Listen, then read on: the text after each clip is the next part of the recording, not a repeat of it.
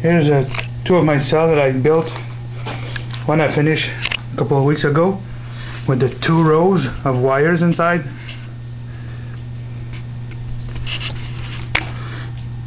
It goes in, in this canister here, six inch high.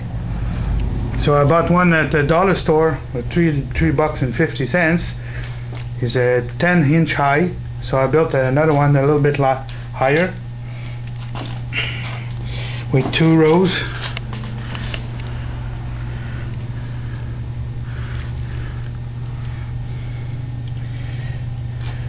And I'm gonna try one of them, the big ones in there, with my temporary temp bubbler.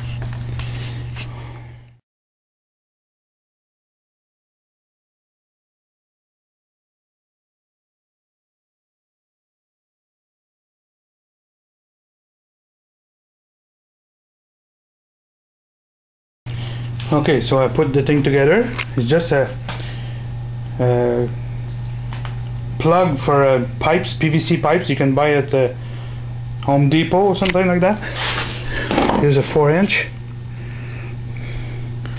But it's not fitting on that thing, so I say, oh, I'm gonna buy a glass container so I can see the what happening inside. So this one was a little bit well I couldn't see into the glass because it become cloudy and all wet so I cannot see anything. So this one is one of my favorite. If it's something happened it blew up the cap will go up and then I can just put it back in. It's a rubber so it doesn't destroy. And the bubbler is going to be the same thing. Bubbler I bought some 3 inch 2 inch.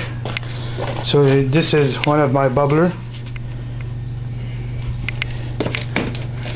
so I can put the pipe underneath here. is bubble on the top.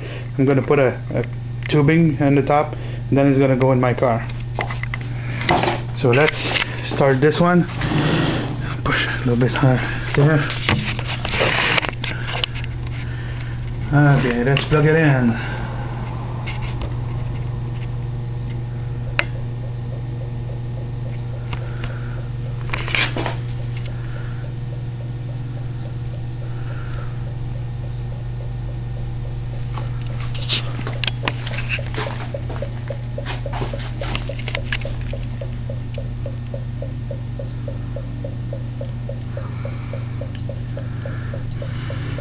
Probably not the best in the world, but uh, at least it's not pulling too much amp.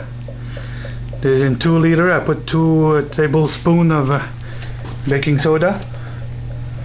As you can see it worked nice. And it's pulling 7 amp now. But at least my thing won't uh, overheat. It's a glass and rubber so it's not gonna melt. So uh, I'm gonna try to find a a glass jar a, a, little bit long so I can put the bubbler in there. And if it's too hot underneath the hood but it's gonna survive at least. And if it blew up only the rubber will go up so I can put it back in. So there you go. This is my cell.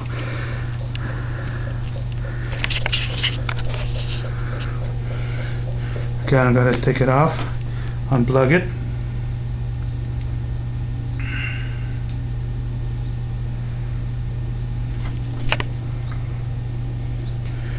plug it back